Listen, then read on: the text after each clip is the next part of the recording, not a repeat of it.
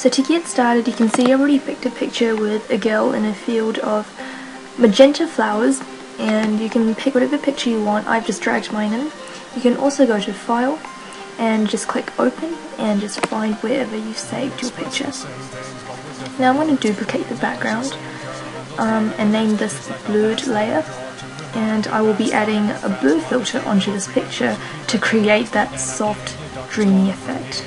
And I'm going to go filter, blur, Gaussian blur and you can move the radius up or down uh, to make it more blurry or less blurry of course. And I'm just going to set my radius to around 2.5 pixels, click OK so now I'm going to take my eraser tool and I'm going to get a 50 pixel eraser.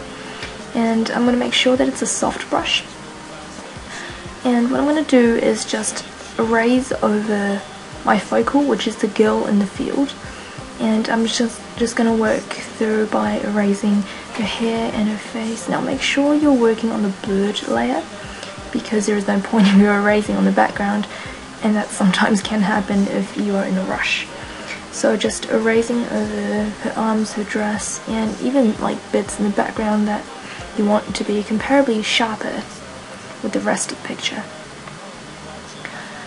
So this is just going to establish like the focal in the picture and it's just going to make the image better looking because you're drawn to the girl instead of all these little flowers that are surrounding her.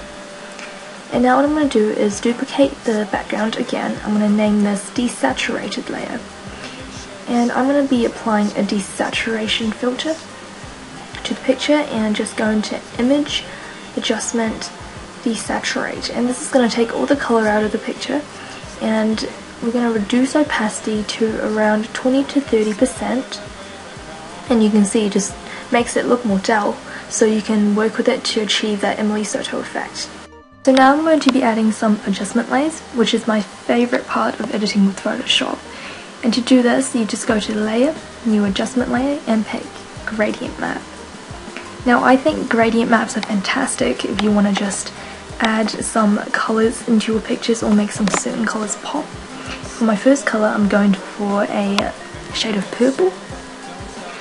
And for my second I'm going to choose a kind of magenta kind of pink colour. And then the third shade I'm going to get a blue. And you can see I'm just using shades that are quite similar to my finished result. And the last is going to be a pink kind of red now click OK and you can set this gradient map on lighten or screen because obviously you don't want to keep it like this unless you're going for that look. Now you can see both can work quite well depending on what your picture look, looks like. And I'm going to set it on eye lighten and move it to around 30%. Just play around with it. Now you can see it's already starting to look more dreamy and softer. Now you can add a few more adjustment layers just to make sure the colour you want to really stand out stands out. So I'm going to add a new adjustment layer and I'm going to get a photo filter and this is going to be red because I want my finished result to be more purpley and this is just going to intensify it. I'm going to lower density to around 10% and I'm going to add another one on top of that.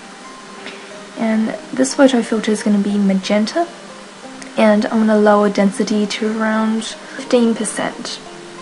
Now you can see my picture looks very purple. Um, I don't want this to be too overwhelming, so I'm going to get my eraser tool, um, get the size a bit bigger to around 100 pixels. And now I'm just going to erase around the picture so the purple doesn't make my image look too huge. And I'm going to erase just on bits of the background and over my focal, which is the girl. So now you can see after I've done all my adjustment layers, um, I can start adding in some lighting, which Emily Soto is very good at with her photography and the way she edits her pictures. I'm going to add a new layer, I'm going to image, apply image, and this is going to just merge all your present layers together and give you your current image. Now go to filter, render, lighting effects, and make sure that you set the light type on spotlight and this is a great tool if you want to create a source of lighting and you want to just play around with the little ellipse that comes on the preview. and I've just made mine to the left of the girl and um, going downwards and I'm going to lower opacity to around 12% so you can see it's very subtle. So what my lighting effect has done is just made the sides of my pictures a bit darker in comparison to the area around the girl which is a bit lighter.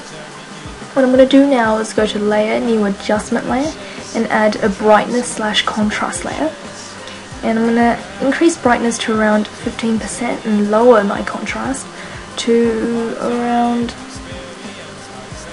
20 should be fine.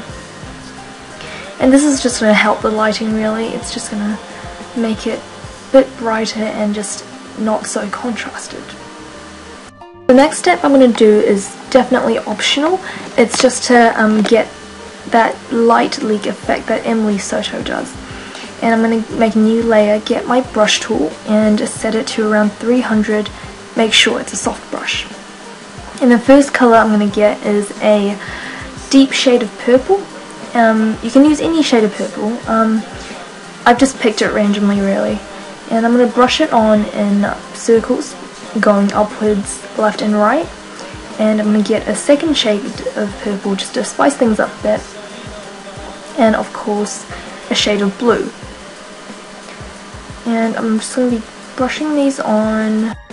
Now that I'm done, I'm just going to set this on linear dodge and reduce opacity um, to around 30 to 40%. Um, you don't want to do too many of these little light leaks, I guess you could call them, um, just to keep it nice and um, subtle.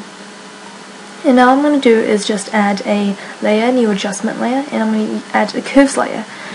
Um, now you can make your picture darker or lighter by, by using this adjustment. You don't have to do this, this is definitely optional, you can just achieve the same effect pretty much with the brightness and contrast adjustment layer. I just prefer the curves layer, uh, layer because it's easier to work with. And you can just play around the little line that comes with. And I'm going to get my eraser tool and just, you know, erase over the bits that I don't want so light and misty. Now I'm going to make a new layer and um, this time I'm going to apply image again by going to image. Um, okay, and this time I'm going to get my burn and dodge tool just to fix up the lighting. And taking my dodge tool, I'm going to make the brush size around 100 pixels, keeping it soft of course, and I'm just brushing over where the sun would usually hit her face, just to make the picture more realistic and natural. There is dodge, there must be burn, so I'm going to get my burn tool as well, and I'm going to set it to around 400 pixels with a soft brush and brush around the edges. And it just makes it look better really. So I'm just going to keep brushing um, on the edge of the background and bottom of the picture. You can see that's what it looks like. Now I'm going to apply my image again, and this time I'm gonna be just going to image adjustment and I'm going to desaturate the image again just to finish up and I'm going to desaturate it to around 18% opacity and of course erase over um, the girl so she's not devoid of all colour and this is just really finishing touches um, depending on your, uh, what your picture looks like by now. Um, you don't have to do what I'm doing, I am just a perfectionist. Now I'm going to go layer, image, apply image. And the last thing I'm going to do is give the picture a sharpen. Now just go to filter, sharpen, and sharpen. And that's just going to make the picture more HD and of course make the girl sharper than the rest of the picture and I'm going to take an eraser and just erase the field of flowers that she's in because I only want her face and her dress to be sharper. And you can see we're pretty much done now. Feel free to add any other personal touches you want to after this step. It's entirely up to you. Just play around and have fun with it. So thank you for watching another Simply GFX tutorial. Remember to subscribe to the channel and like the video and I'll see you next time. Bye!